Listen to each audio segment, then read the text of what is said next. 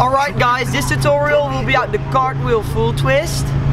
If you have not seen my last tutorial and you want to know how to learn a cheat gainer, it's on my channel, check it out. So for the cartwheel full twist, you will need a backflip on a trampoline, a full, full twist on a trampoline, and a good cartwheel.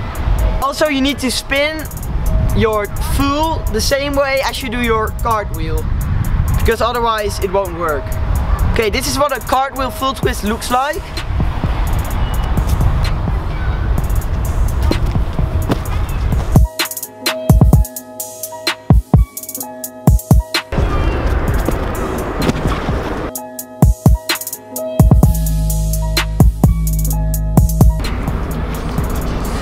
Okay guys, the first step to a cartwheel full twist is to have a strong cartwheel.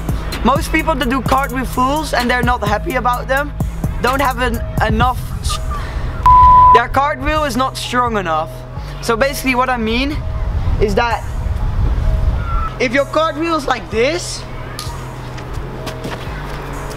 you're probably not going to have a strong cartwheel full twist because the cartwheel is very important to get lots of speed, momentum and height. So get a cartwheel that feels strong and you can lift off pretty good out. So getting a good cartwheel is necessary. Alright, step two. First of all, you could try and do this on the trampoline. And then stop and then do the full twist to like get used to it. On ground it's harder because you would just lose momentum when you like stop like this.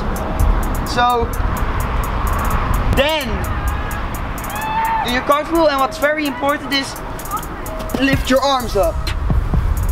So a fast cartwheel then but you land and lift up. Just as the cheat gainer you have to lift your arms up. This will just give you height and makes the full easier.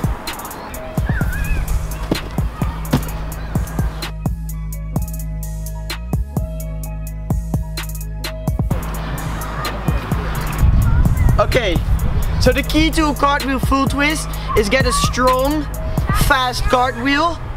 Then practice your fulls, like your cartwheel, stop full on a trampoline or something that's bouncy.